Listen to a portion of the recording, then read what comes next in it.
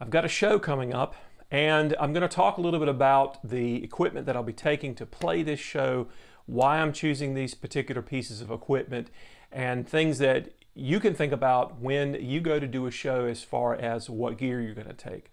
So, when you're going to play a gig, there's a lot of things that you have to think about when determining what gear you're actually going to take with you. When you play in different styles of bands, different styles of music, what you're playing is going to dictate what you take to the show.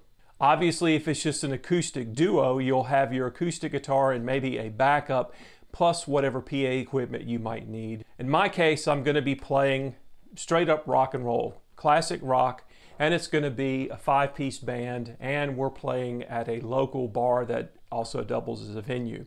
They also have good food too the first thing you have to think about is what your set list is going to be. And I have the set list for the show that's coming up, but I won't give away any surprises. But I can say I'll be doing some ZZ Top, some ACDC, as well as some maybe not quite as hard uh, rock and roll tunes. There's some Black Crowes, there's some Billy Joel, things like that. So the first thing is I've got to cover a wide range of sounds. This always leads to the question how many guitars is enough? You have to think about the guitar as a tool and what you're going to use that tool for. When you look at the amount of guitars that I have around me, it looks like I have a lot of guitars, but each one does something different or unique. So, for starters, this is going to be the main instrument that I play. Uh, I never take just one guitar, but if I had to take one guitar, it would be this one. This is an Epiphone uh, Les Paul. This is considered the standard pro. Uh, I actually got this. This this almost qualifies as dirt cheap. It's a little on the high end, maybe. I traded it for about four or five hundred dollars worth of bass gear a few years ago. And the reason that I use this one, well, it looks pretty nice. Secondly, I can do a lot of different sounds with it. Now, traditionally, Les Pauls sound a certain way. So here is just a clean sound. Uh, I'm using a Boss Katana and it's set up with kind of a, um, kind of like a Fender reverb kind of sound. Okay, it's a little bit bassy um, the way it's set up right now, but with this guitar and the way that amp is set, not using any kind of effects, I can get multiple sounds because this one has what are called coil splits. And so underneath these pickguard covers, there are basically humbuckers that are two single coils kind of put together. But by pulling up on a volume knob, I can actually split those coils, meaning that it's only using one or other of the, the two pickups. And what happens is you get a much uh, a sound. It's not quite like a single coil, but it's much closer. So that's humbucker. And then this is the split coil. So I can get different sounds directly out of the guitar. It also does it on the neck pickup as well, just by pulling up on the other volume control.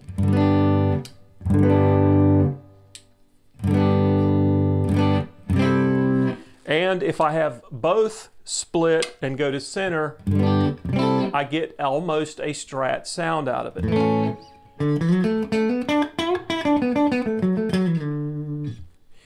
It's not exactly a strat, but it's close enough to not have to carry extra guitars. So in addition to this guitar, I'll probably be taking the Stratocaster that's on the wall there and possibly the Kramer. When I'll talk about these more in just a minute. One of the reasons that I usually take um, a Fender style guitar is just there's certain songs that we do that I've been doing them so long it's it's strange to play it on a Les Paul. So if I'm doing any kind of Stevie Ray Vaughan stuff, um, Allman Brothers, I can go either way with Allman Brothers, but there's just some songs where uh, some blues stuff where I'm just used to the way the Stratocaster plays and responds. Also, if I'm doing any Hendrix and I'm using a fuzz or something like that, uh, the way the single coils interact with the fuzz is very different from the way humbuckers interact. And even though I can split these coils and get a different sound, it's it's still not exactly the same. The Katana amp I have set up with a few different tones and I'm recording that through uh, Shure SM57 that I did a video on a few weeks ago and that's what will be going to front of house. I still don't use in-ear monitors yet uh, but I am looking at trying to get some in-ear monitors at some point in the future. So I'm old school in that I like to have an amp on stage because of the way the guitar interacts with the amp. That being said, you still have to be aware of the overall stage volume. So that's why I'm not taking the 100 watt Marshall. Uh, the venue that we're playing is smaller and you're going to want to use a less powerful amp. And the Katana, even though I'm using the 100 watt version, I'll only have it set on at most 50 watts. Uh, more than likely the lower gain setting. It really depends on uh, the volumes once we get the drums going and everything like that.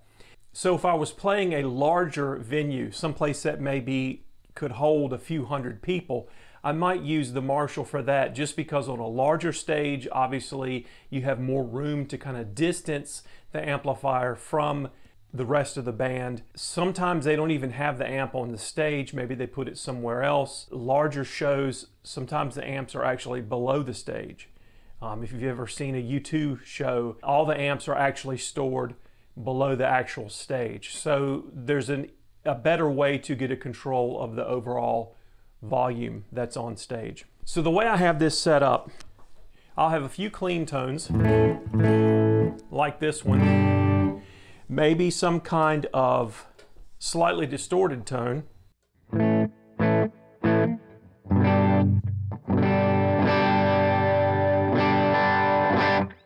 where it's kind of just a little bit beyond edge of breakup.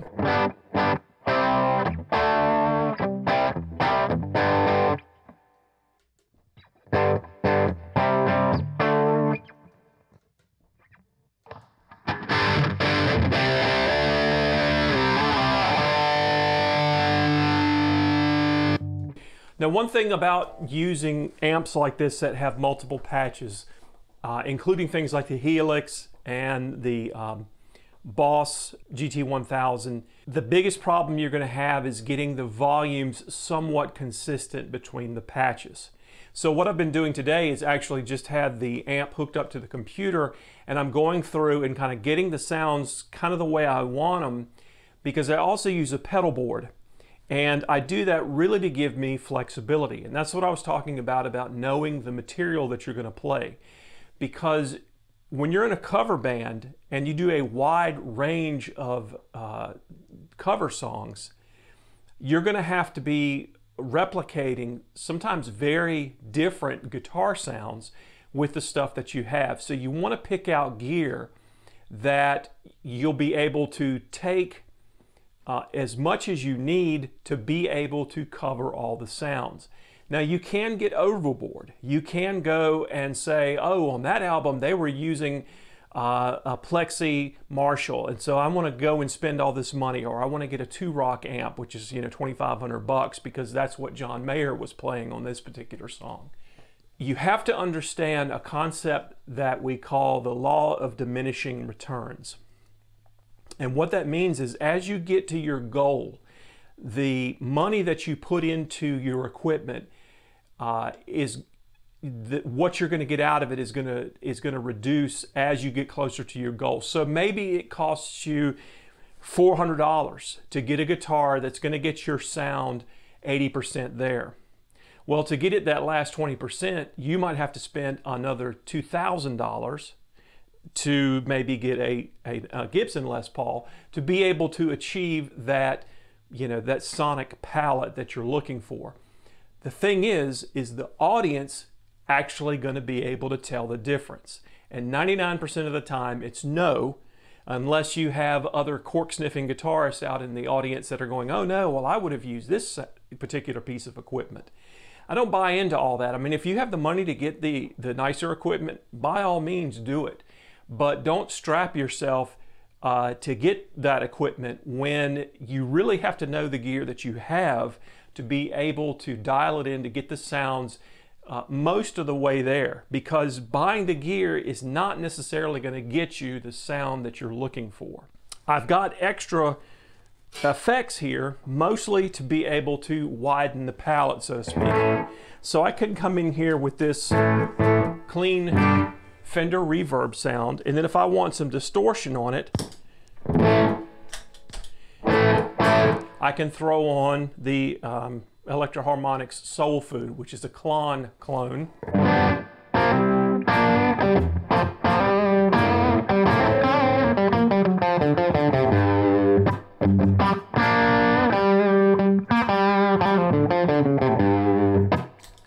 I'm also using a Boss Super Overdrive.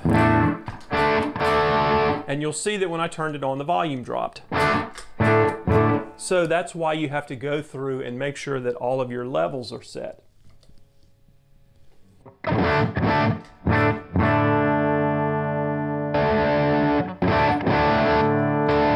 What I'm looking for is that when I go from the clean sound to the distorted sound, I don't want a big jump in volume. Now there will be an apparent change in volume because of just the nature of how we respond to distorted tones.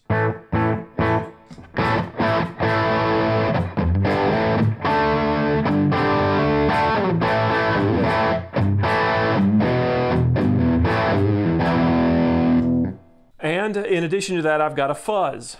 And a fuzz sounds kind of, to me, sounds weird with humbuckers.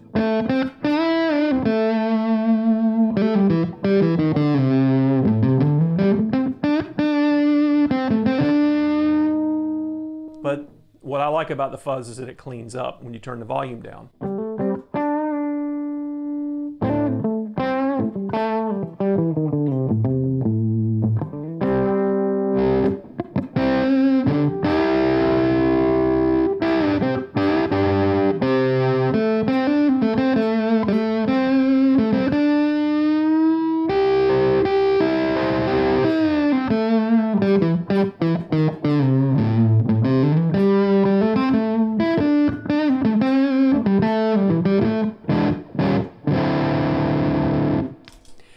Course, each guitar is going to sound different with these different effects. So you kind of have to um, have everything set for a happy medium. Uh, some people use a booster at the front.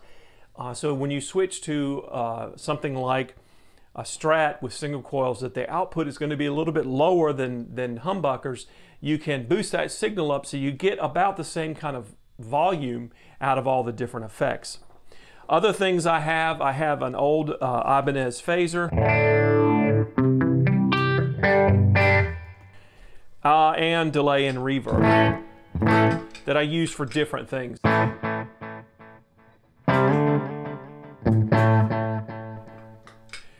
Uh, we used to do Whole Lot of Love by Led Zeppelin, and I would use that digital delay uh, as a way to uh, kind of recreate the um, midsection of that song with all the crazy guitar sounds and everything. I could just reach down and, and change it. That's another thing about using devices like the Boss Katana is the controls are behind you. Um, you kind of have to preset all of your effects. Uh, and if you want to tweak things on the fly, sometimes that's that's kind of difficult. Uh, some of the more advanced parameters in the in the Katana, you have to go in and use the software to actually set those uh, those advanced things. Here I can just reach down and, and change the setting.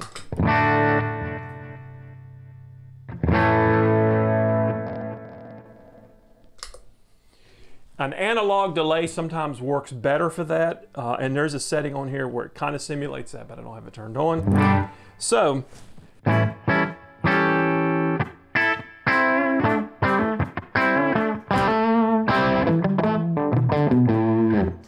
Okay, so now I've got the Kramer Pacer. I take this for when I have to do songs that I need a vibrato or, or a whammy bar. And um, we've got at least one Van Halen song that we do, maybe two, um, and probably a couple of Billy Idol songs that I'll probably use this on. Uh, and it's because it's got the vibrato bar.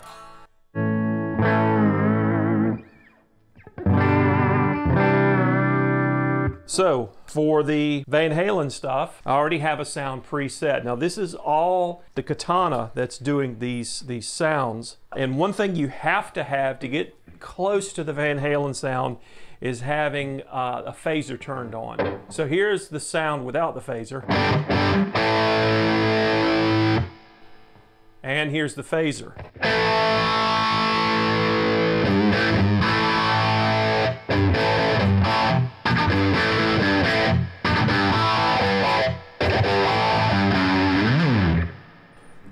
And then I also have a boost set on it. So if I want to do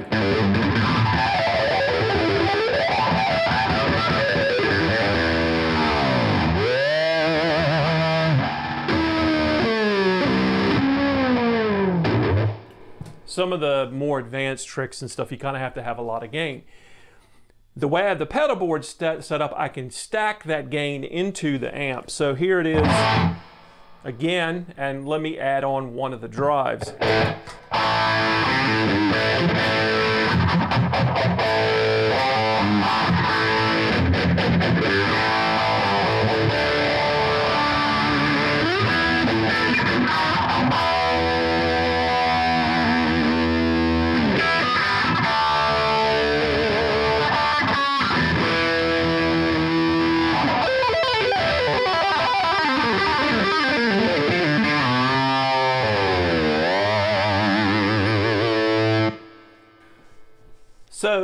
Again, it's not hundred percent of the way there. I mean, I can hear it in the room here, and it's like, yeah, it's it's pretty close, but it's not exactly the sound uh, that you would expect, um, you know, from Van Halen. And I can also put a different phaser in front of it as well for more of an effect.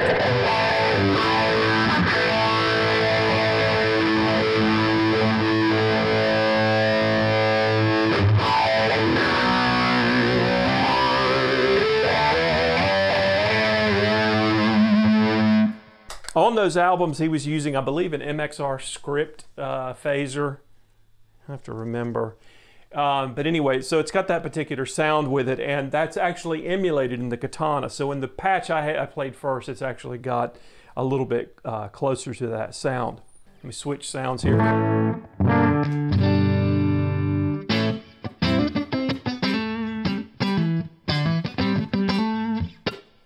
I can do the more uh, cleanish, funky kind of sounds.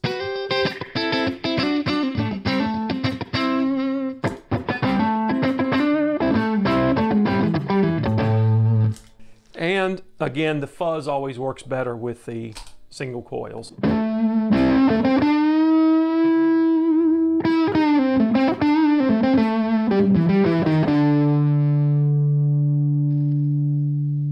Sweep the tone.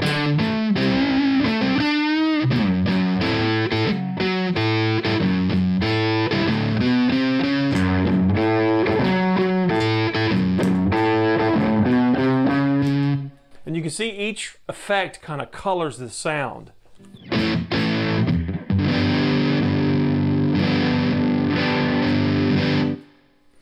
Okay, so lastly, I've got my 2018 um, Fender. This is the uh, professional, I believe, is the, the model. It's USA made.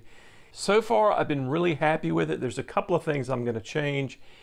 I uh, it, com it comes with nines as the standard gauge, and I have been experimenting with what's called a balanced tension uh, tens.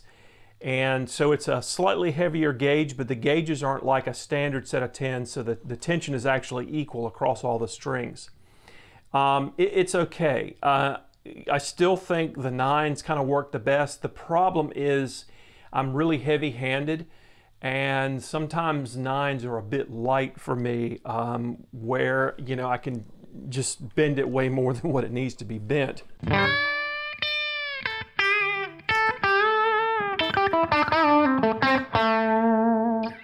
And I would have problems with, um, I have another uh, 335 kind of knockoff guitar that um, with nines on it, when I'm fretting certain chords, I actually bend them out of tune. So um, I've, I've had to step up and go to a heavier string on that.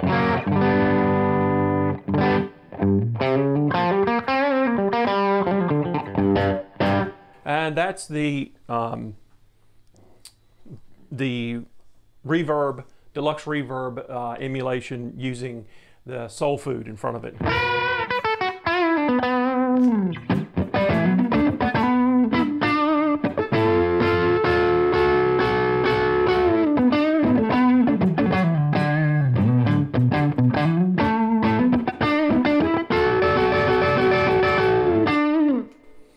Um, so that's what I use this guitar for, that, those types of songs uh, it also does really well with the fuzz.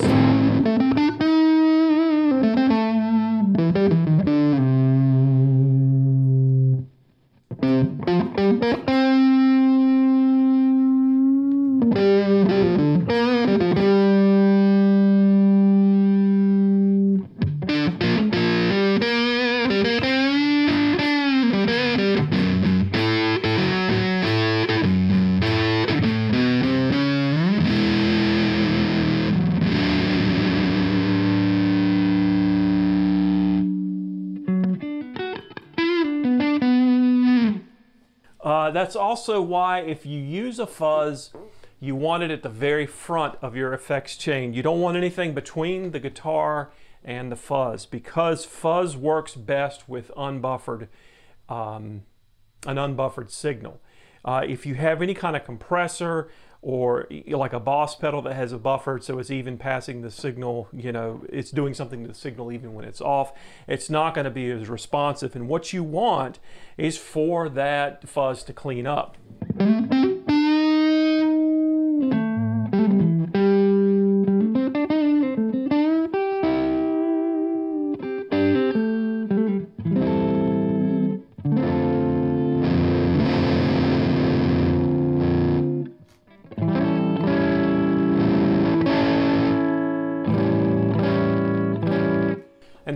Cleans up depends on how well you have everything set. It, sometimes it takes some experimentation, but you know if you want to get any of those Hendrix sounds,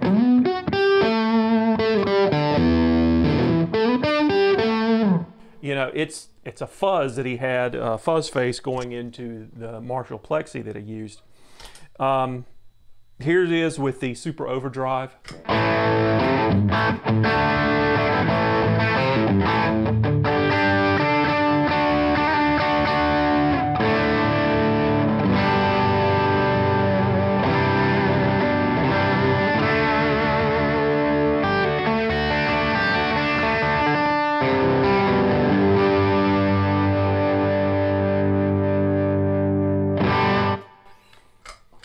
Now, the pedals that I'm using aren't finalized yet, but I can say I'll definitely be using the Super Overdrive and the Soul Food. Um, the fuzz, the fuzz I have is actually the ModTone The Fuzz. Uh, I'm kind of late to the game of using fuzzes. I, I really didn't use a fuzz pedal for years until maybe three or four years ago and started kind of dipping my toe, so to speak, into the you know, and some of you might say, God, you know, you played for a long time without using a fuzz. It is what it is. I mean, there's just been so many, um, you know, back in the day, you, you only had a, a couple of choices in fuzz. Uh, you either had to spend big money to get, get, you know, to get a vintage pedal, or you know, you get one of the um, reissue fuzz faces or something, and everybody kind of knew what that was about, or maybe you got uh, like a big muff or something. And I just, I just never really got into them. Um, but there's so many, so many that are out there now uh, where um, new builders have come along, and um, there's just you know a wider range. And so, just by trying some of the different pedals, you'll find something that you know that kind of speaks to you or, or what you like. Um, the other pedals I'm using are kind of industry standards. I've got a you know a TU3 Boss tuner. Um, I've got a few other pedals that I've picked up over the time for reviewing with Dirt, Dirt Cheap Guitar, and I, I, there's a couple of them that I may be uh, putting onto the board, but that's um, you know just some experimentation. So what I'm hoping that you get out of this video is that you really kind of have to think about what you're going to be playing and what you take with you. I can tell you from when I've played in bands that were original bands, didn't do covers and things, unless we did maybe a few here and there. Uh, it was much easier then because you could kind of get your sound and you kind of ran with it. When you're doing covers, now you've got to be able to emulate uh, a lot of different players. So, in some respects, I think it can be more difficult uh, to to do covers, especially if you want to be true to the originals.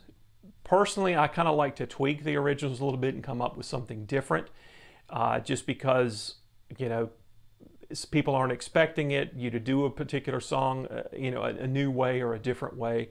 And of course, sometimes some of the songs that we love actually are remakes, and they tend to be better than the originals. Uh, one of the best examples is All Along the Watchtower by Hendrix. Uh, basically, the first time that Bob Dylan heard it, who actually wrote the song, he was just floored at how, you know, he knew then it was Hendrix's song. Even though he wrote the, the melody and stuff, uh, Hendrix just took it and took it to a completely different level uh, as far as what he was was doing with the song. And to me, that's kind of interesting when you can kind of come up with your own take on uh, different cover tunes. It really depends on the venue that you're playing. Sometimes they want you to play, you know, the exact versions. If you are playing wedding gigs, uh, it needs to be pretty close to the actual versions. They don't want a whole lot of experimentation. You're not going to get into a 20-minute Phish-style jam uh, in doing doing a wedding cover gig. So if you like this video, give it a thumbs up. Don't forget to subscribe and hit that bell icon and you'll be notified whenever I post new content or if I decide to start streaming and go live with different things. Uh, if you have comments for videos that you'd like to see me do or different things you want me to review, I've got a few things in the works that different uh, viewers have suggested uh, that I'll be, be coming out with at, at some point as I have time to, to do these videos. Remember, the only player that you have to be better than is the one you were yesterday. So keep practicing.